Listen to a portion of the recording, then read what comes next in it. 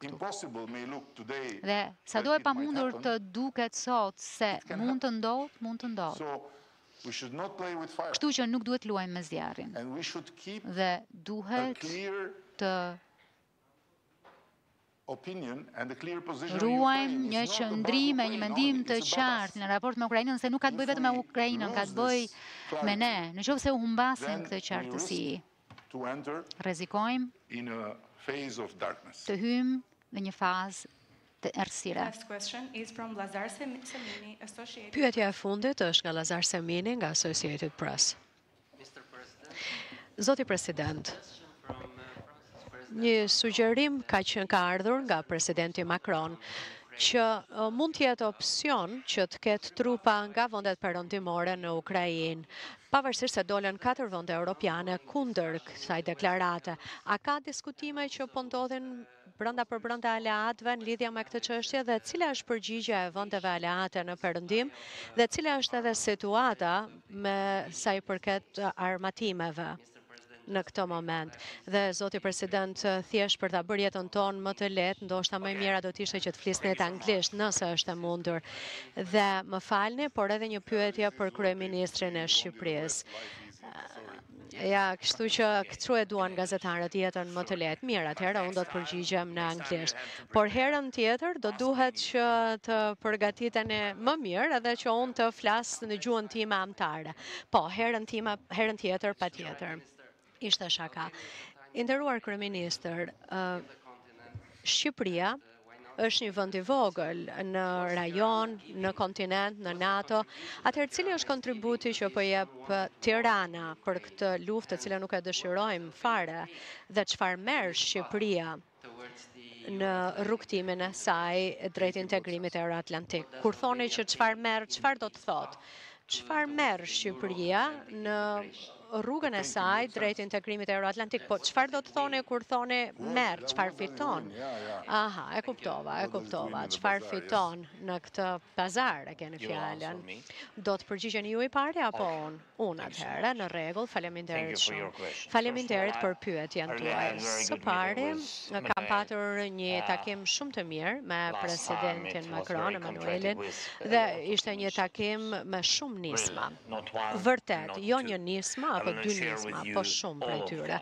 Dhe do të flas për të gjitha ato, për shembull koalicioni për artilerinë, shumë i mirë, ky me SHBA-në, por edhe me partnerë të tjerë. Pra, gjëra shumë konkrete.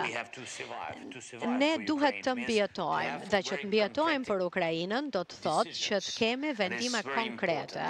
Dhe kjo është shumë e rëndësishme. Prandaj nuk mund të ndaj me ju, për shembull, shifrën për artileri, ose për armatime të tjera që ne mund kemi, 155 të një lloji.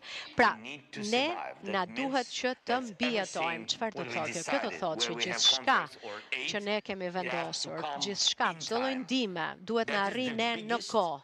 Kjo është nisma më e mirë e të gjithëve që na i sillni armatimet në kohë, nëse mundeni. Pra, nëse është marrë vendimi që të na mbështesni, atëherë kjo është çështja që lind. Dhe nëse ne do të fitojmë apo jo, do të varet nga kjo pikë.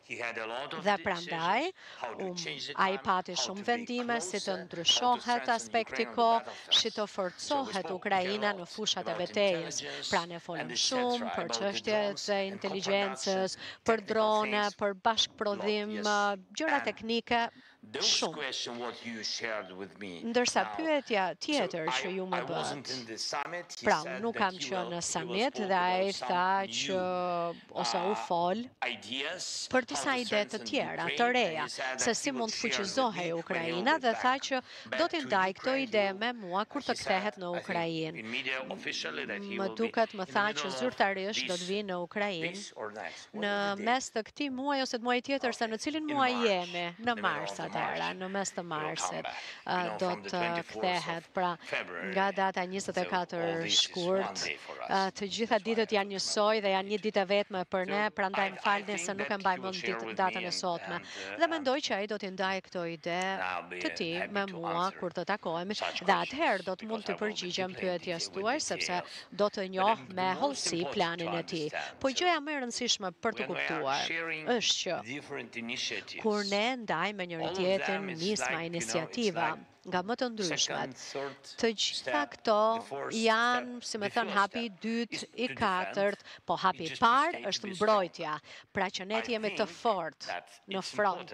Dhe është e rëndësishme kjo, sepse tashmë ne kemi disa pyetje për këto paketa me partnerët tanë, partnerë europianë dhe SHBA-në, dhe natyrisht që falënderojmë SHBA-në për udhëheqjen që ato kanë treguar, por edhe për partnerët europianë, edhe për partnerë të tjerë europianë si Mbretëria e Bashkuar. Por sot ama është e rëndësishme për ne që të vazhdojmë të qëndrojmë të fortë, sepse nuk kemi as kohë, as alternativa. Sepse të gjithë ne na duhet që të përballemi me një vrasës.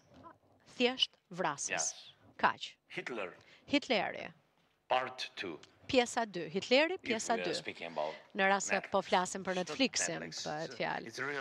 Pra, është vërtet një rrezik i madh që i kanoset jetës tonë. Dhe unë nuk do doja kurrë që të ndodhë e kundërta, po unë besoj që të gjithë ne duhet të përgatitemi. Dhe përse?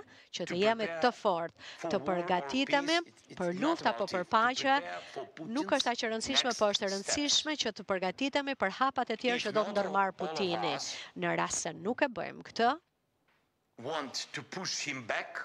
ose në rast pra se ne duam që ai të mos t'ia dalë mbanë, atëherë ne duhet të përgatitemi, që ai të zbrapset, ne duhet të përgatitemi për luftë, natën, ditën,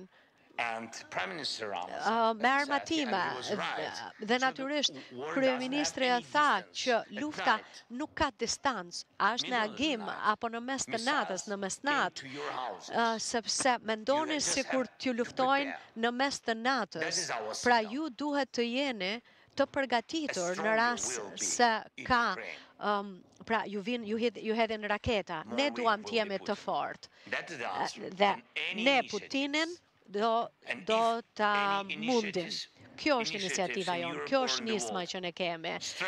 Dhe nëse ka iniciativa jo vetëm në Europë, por dhe në të gjithë botën që e fuqizojnë Ukrainën, atëherë janë të mira